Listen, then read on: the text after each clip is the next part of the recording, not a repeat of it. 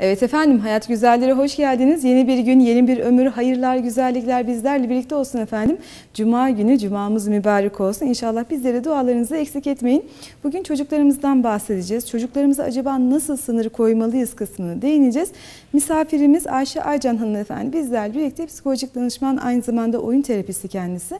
Eğer sorularınız varsa 0312 341 2040 numaradan aynı zamanda WhatsApp numaramız 0552 341 2040 numaradan bizleri arayıp sorularınızı sorabilirsiniz. Ve mutfak kısmında ise Nurdan Gül hanımefendi bizlerle birlikte Kars mutfağını kendisinden öğrenmiş olacağız. Kars kıtır helvası yapacak, fırında patatesli köfte yapacak ve üzümlü pilav yapacak efendim. İnşallah zamanımız yeterse hepsini tadacağız, bakacağız nasıl yapıldığını ve ben misafirime hoş geldin diyerek başlamak istiyorum. Hoş geldiniz Ayşe Hanım. Hoş bulduk. Teşekkür Nasılsınız? ediyorum. İyiyim. Sağ olun. Siz nasılsınız? Bizler de iyiyiz. Allah Şimdi iyilik nelerden bahsedeceğiz? Evet. Bugün çocuklarda sınır bilincini konuşacağız. Çocuklarda sınır bilinci dediğimiz şey nedir?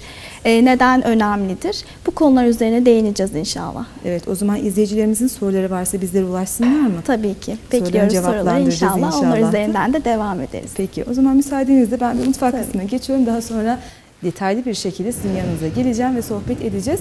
Şimdi Nurdan Hanım'ın yanına geldim. Şimdi patatesli köftemiz vardı. Evet. Kars kıtır helvası var Evet. ve üzümlü pilav var değil Evet. mi? İlk önce hangisinden Ben başlayacağız? e, önce patates köfteyi koyacağım. Fırına gitsin. Ondan sonra ben evle başlayayım. Tamam peki o İkisi zaman beraber de yapabilirim yetiş ayarlarsam yaparım ikisi beraber. tamam ilk önce Tamam. birisinden başlayalım. Tam İlk patates ben o köftemiz zaman kısıtlı olduğu için onu halledelim. Tamam. Uzun süre pişeni erkene alırsak daha iyi olur. Peki.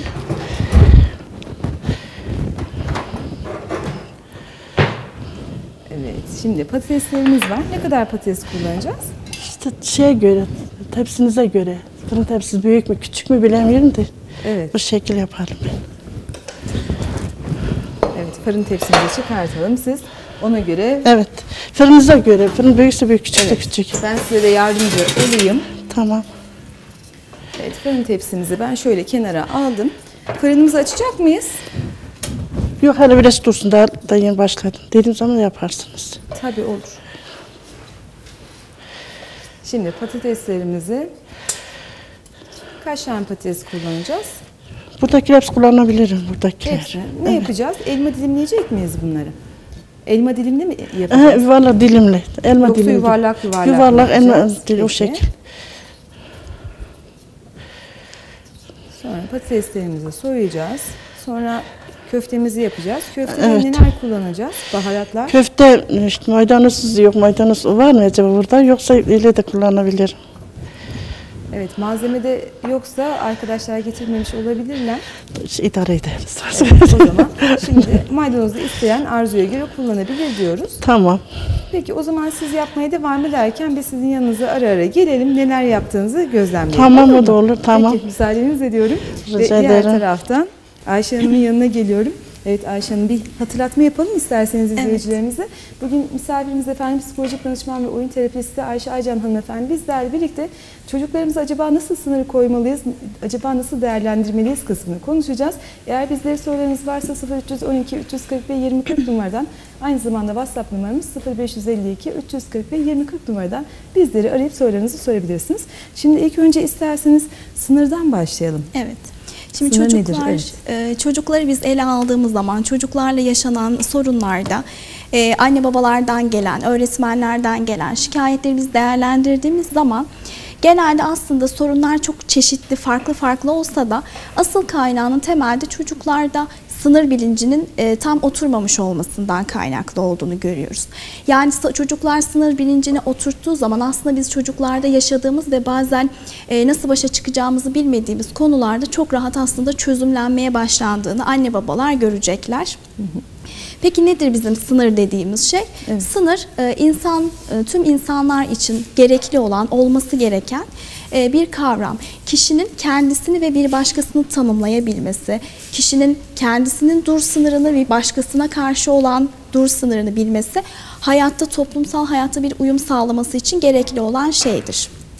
Peki e, sınır çocuklar doğdukları andan itibaren kendi varoluşsal süreçlerinde olan bir şey mi yoksa sonradan mı öğrenilen bir şey diye baktığımızda ise aslında çocuklar doğduklarında sınır kavramını bilerek doğmuyorlar. Hiçbir e, çocuk doğduktan sonra 6 aydan itibaren çevreyi keşfetmeye başladıkça aslında çocuklar biraz deneyimleyerek sınırlarını öğreniyorlar.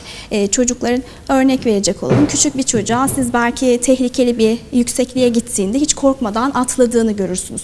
Çünkü çocukta sınır kavramı oluşmadığı için onun tehlikeli olan bir şey ve durması gerektiği bir yer olduğunu bilmez. Zarar geleceğini bilmiyor. Evet, anne baba orada çocuğa oranın tehlikeli olduğunu, oradan atlamaması gerektiğini öğrendiğinde çocuk orada bir sınırı öğrenmiş olur.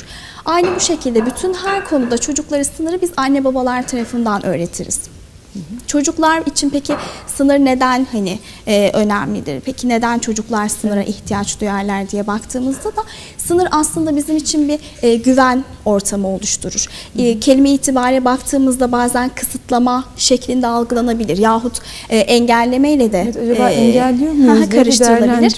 evet. Zaten şu, anne babaların hep kaygısı, acaba biz çocuklarımızı özgür yetiştirmek için, çocuklarımızı daha hani sağlıklı, kendilerini ifade eden bireyler olarak yetiştirmeye çalışırken e, engellemekten çok kaygılanıyorlar. Benim çocuğum asla hani engellenmemeli, her istediğini çok rahat yapabilen ve dile getirebilen bir çocuk olması gerekiyor diye.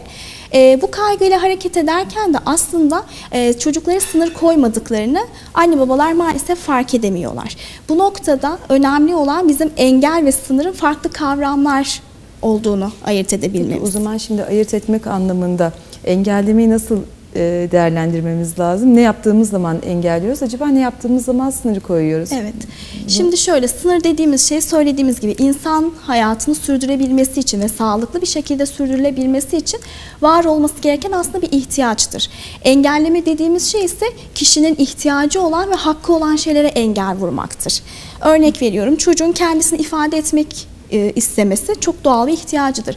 Anne baba çocuğa hayır e, sen konuşma, sen daha küçüksün, e, sen çocuklar her şeye karışmaz gibi bir müdahale gösterdiğinde aslında bu çocuğu engellemek oluyor ve yapılmaması gereken bir şey. Bizim sınır kavramı dediğimiz, sınır bilinci dediğimiz şey ise çocuğun doğru davranışı öğrenme sürecidir. Aslında biz sınır koyarken olması gerekeni çocuğa öğretiriz. Bu noktada bu ayrım çok iyi yapılması lazım. Çünkü sınır problemlerinin temelinde bakıldığında ya çok baskıcı e, anne baba tutumundan kaynaklı bütün sınır koyacağız derken aslında engellediklerinin farkına varmayan e, anne baba çocuklarında görülen bir durum ya da tam tersi evet biz çocuğumuzu sıkmayacağız asla e, engellemeden özgür yetiştireceğiz derken hiçbir sınırı öğretmeyen ve çocukların nerede ne yapması gerektiğini bilmeyen e, ve aslında bakıldığında da kaygı durumları da yüksek olan çocuklar olduklarını görüyoruz. Aslında bunu farkında olmadan anne babalar yapıyorlar ve e, Evet. bilinçli veya bilinçsiz. Peki acaba buradaki e, sınır dediğimiz zaman biz çocuğumuza sağlıklı bir sınırı çizmemiz gerekiyor. Ama nasıl çizmeliyiz bu durumu? Evet. Şimdi sınırlar çizilirken şu çok önemli. Öncelikle çocuklarda e, bu durum bir zorunluluk ya da bir dayatma şeklinde verilmemeli. Anne babalar her zaman için çocuk yetiştirme e, konusunda da biz anne babalara söylediğimizde mutlaka yumuşak e, dille çocuklara gitmemiz lazım. Bir şey yapacağı zaman, bir sınır çizileceği zaman o neden e, sınır olduğunu, neden o noktada durulması gerektiğini çocuğa e, güzel bir şekilde, yumuşak bir şekilde ifade etmeniz lazım. Örnek veriyorum. E? Evet. ev ortamında kendi sabah uyandığında odasını toplaması, yataklarını e, düzenlemesi çocuğun aslında bir sorumluluğudur. Ve biz bu noktada yine çocuğa bir sınır e, öğretmiş oluyoruz. Peki ben hayır e, toplamak istemiyorum diye direten çocuklar var. Anne babalardan genelde bu tarz şikayetlerde alıyoruz. Evet hocam biz bir e, kural koymaya çalışıyoruz evde sorumluluk bilinci gelişsin diye ama çocuk kesinlikle itiraz ediyor, yapmıyor. E, nasıl olacak? Bu noktada şu çok önemli. Çocuğa eğer bu dayatılıyorsa, sen bunu yapmak zorundasın şeklinde veriliyorsa çocuklar genelde bir direnç gösterirler. O yüzden çocuklara dayatmak yerine çocuğa o davranışı neden yapması gerektiği açıklanmalı. Sen e, odanı toplaman gerekiyor çünkü bu oda senin özel alanın ve sen kendi özel alanından sorumlusun. Bak e, ortak alanlarda ben hani bir anne olarak ben sorumluyum, ben topluyorum. Herkes işte kardeşlerin kendi odalarından sorumlu, sen de kendi odandan sorumlusun bu yüzden. Çocuklara vermek istediğimiz beklentilerimizi açıklayarak söylediğimizde çocuklarda bir ikna mekanizması ortaya çıkacak. Çünkü e, çocuk neyi neden yapacağını anlamadığı zaman direnç göstermesi o, o zaman ortaya çıkıyor. Belki anne baba Bizim için anlamlı aslında ama Evet. onun için e, anlam veya anlamsız diye bir durum Evet, söz konusu değil. Yani bunu şey yapamıyor, yorumlayamıyor Evet. gibi değerlendirme Şu çok önemli. lazım. Şimdi biz kendi e, yaş dönemimizde, kendi zihinsel süreçlerimizde e, bazı söylemlerimizden aslında ne istediğimizi, ne kastettiğimizi biliyoruz. Ama karşımızdaki daha küçük bir birey. Onun e, zihinsel gelişimi daha farklı, olayları algılama biçimi daha farklı. Bunu her zaman için unutmamamız lazım. E, mesela çocuk dışarı çıkmak istiyor. Annesi diyor ki hayır dışarı çıkamazsın, çıkmayacaksın. Ve e, istiyor ki bu cümlenin ardından evet çocuk sözümü dinlesin ve dışarı çıkmasın. Ama çocuk burada neden dışarı çıkmadığına e, anlam veremiyor. Neden çıkmıyorum? Bunun yerine Mesela anne baba diyecek ki "Ha, için, mesela şu an saat değil." geç ve Evet. senin şu an dışarıda olman e, güvenli değil. Ben e, senin için endişeleniyorum. Bu yüzden dışarı çıkmanı istemiyorum. Açıkladığınızda ikna ediciliğiniz artacağı için çocukların da uyum süreci kolaylaşacaktır. Evet, bu durumda açıklama yapmak lazım. Evet. Her zaman açıklama gerekiyor mu peki? Kesinlikle. Yani annelik babalık Sabırlı olmak annelik durumda? babalık Evet. kesinlikle sabır işi. Ee, her zaman için bazen evet bu yönde de geri dönütler alıyorum. Hocam hani siz söylüyorsunuz evet güzel haklısınız. Ama yaparken o kadar zor ki kesinlikle zor olduğunu kabul ediyoruz. Hiçbir e, zaman annelik babalık bu yüzden kutsal zaten. Gerçekten sabır gerektiren bazen sabırların zorlandığı e, anne babalar da artık hani tahammül edemiyoruz dedikleri çok normal. Hepimiz e, insanın herkesin bir e, dayanma gücü vardır ama her zaman için karşımızdakinin bir çocuk olduğunu ve onun öğrenme sürecinde olduğunu unutmamamız lazım. Bazen yetişkin gibi davranıyoruz ya. Evet yani Evet, yetişkin, gibi olgunluğu almasını- bekliyoruz evet. çocuklardan. Peki sorularımız gelmeye başladı. İsterseniz birazcık onlardan da e, paylaşım yapalım. İyi günler. 6 yaşındaki oğlum kıyafetlerini dişleriyle delik deşik yapıyor. Nasıl davranmam lazım demiş. Ayrıca 3 aylık bebeğim var. Bir de bize bir şey söylüyor. Anlamasak dakikalarca hava sıçrayarak ağlıyor demiş. Tam anlayamadım. Şimdi e, iki tane evladı varmış e, izleyicimizin. İlki e, erkek, ikincisini yazmamış. Ve 6 yaşında bir oğlu var. E, bu 6 yaşındaki oğlu kıyafetleriyle, kıyafetlerinin dişleri delik deşik yapıyor. Herhalde bir şeyi tepki olarak değerlendirme yaptım ben ama ve diğer çocuğu da 3 aylıkmış ve e, bir şeyler söylüyor ve anlayamıyorum ve havayı sıçrayarak ağlıyor demiş. E, neler söylersiniz bu konuda? Şimdi 6 yaşındaki çocuğun kıyafetlerini e, ısırarak delik deşik yapması genelde çocuklarda bu e, yaka kollarını emme, ısırma ya da kıyafetleri çekiştirme davranışları genelde kaygı e, durumlarında ortaya çıkan.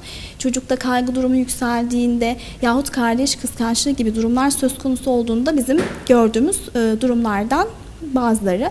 Annenin burada buna dikkat etmesi lazım. Acaba çocukta bir kaygı yaratacak durum yaşanıyor mu? Yahut e, kardeşi olduğunu söylediniz 3 aylık. Belki kardeşinde... Erkek evladıymış bu arada. Hı İkisi de erkek. Evet, kardeşinde yeni doğan e, olması, yeni bir kardeşe e, sahip olması, belki kardeş kıskançlığı e, oluşmuş olabilir. Bu durumları anne çok iyi e, analiz etmesi lazım. Varsa bir kardeş kıskançlığı, kardeş kıskançlığını ortadan kaldıracak, giderecek e, şekilde davranması gerekiyor. Çocuğa sevgisini göstererek, aslında yeni gelen kardeşin ondan e, bir sevgi götürmediğini ikna edecek şekilde. Ama farklı nedenden dolayı bir kaygı durumu varsa da bunu yine e, belirleyip onun üzerine gidilmesi lazım. Yani genelde o dişle e, kıyafet ısırmanın nedenleri bu şekilde. Evet peki bir telefon bağlantımız var isterseniz hemen alalım. Buyurun efendim hoş geldiniz. Alo buyurun efendim. Alo merhabalar. Merhabalar. Hayırlı günler hocam. Hayırlı günler sağ olun. Buyurun efendim. Benim hocamda bir sorum olacaktı ama. Tabii ki buyurun. Ee, benim 10 aylık oğlum var. Hı hı, Allah bağışlasın. Ee, Allah razı olsun. Ve e, nasıl bununla iletişim kurabileceğimi bilmiyorum. Hani ilk bebeğim çok tecrübesizim bu konuda. Bir de din açısından şu andan itibaren e, bir şeyler öğretmeye başlayabilir miyim hocam? Onu soracaktım hocam. 10 aylık demiştiniz de değil mi şey evladınız? Pardon. Ee, benim, benim e, şu anda oğlum var da işte o da sadece anne ve e, şey, baba ve dede diyor. Kusura bakmayın çok heyecanlıyım. Estağfurullah önemli değil. Evet. Evet, e, baba ve dede diyor sadece. E, bir program ile ilgili de bir bilgi verebilirsin. Çok memnun olurum. Çocuk kaç yaşında? Kaç yaşında demiştiniz evladınız? 10 aylık. 10 aylık evladınız var ve e, onunla nasıl iletişim kuracağınızı soruyorsunuz. E, sorunuz var mıydı izleyicimize? Yok tamam. Yok. İzlemeye devam edelim efendim. Allah bağışlasın diyelim. Evet, 10 aylık e, bir evladımız var. E, Şimdi anne nasıl iletişim kurabilirim, nasıl e, çocukla bir daha sağlıklı ilişki kurmak istiyor. Sanırım bunu öğrenmek istiyor. E, çocuklarla ben e, her zaman için şunu öneriyorum. Anne babalar önce e, sakin olmaları lazım. Yani çocukla hani e, nasıl iletişime gireceğim? Acaba ben iyi bir anne miyim, iyi bir baba mıyım diye çok fazla kaygılandığımızda da aslında ya, farkında olmadan hatalar yapabiliyoruz. Bu süreçte şimdi çocuk daha yeni hani konuşmaya yeni yeni başlayacağı bir dönemde, e, yürümeye de yeni yeni başlayacak. İletişimin sadece daha çok dokunsal, anneyle e, anneyle birlikte e, dokunsal bir yakınlığın olduğu bir dönemdeler. Hani iletişime geçme süreçleri başlamadığı için çocukla mümkün olduğu kadar etkin birlikteliği olması lazım. Bu nasıl olacak? Hani hanımefendi çalışıyor mu ev hanımı bilmiyorum ama evde olduğu süre içerisinde de çocukla yaş dönemine uygun araştırırsa eğer yapabileceği çocuğun e, görsel e, hafızasını kaba motor, ince motor yani el e, becerilerini, parmak becerilerini geliştirecek etkinlikleri artık başlama çağına gelmiş çocuk. Bu tarz etkinlikler, oyuncaklar alabilir, evde kendisi üreterek, e, oyunlar oynayarak birlikte olabilir. Sözel şekilde, şimdi çocuklar konuşmadığı ve geri karşılık vermediği için anneler e, belki bizim söylediğimizi de anlamıyor olarak düşünebiliyorlar. Ama çocuk yeni doğduğu andan itibaren anne babanın verdiği her türlü olumlu ya da olumsuz tepkiyi alırlar.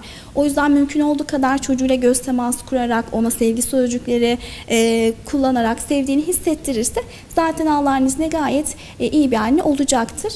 E, konuşmayla ilgili bir sorusu vardı. Sadece anne ve e, baba ve dede dediğine.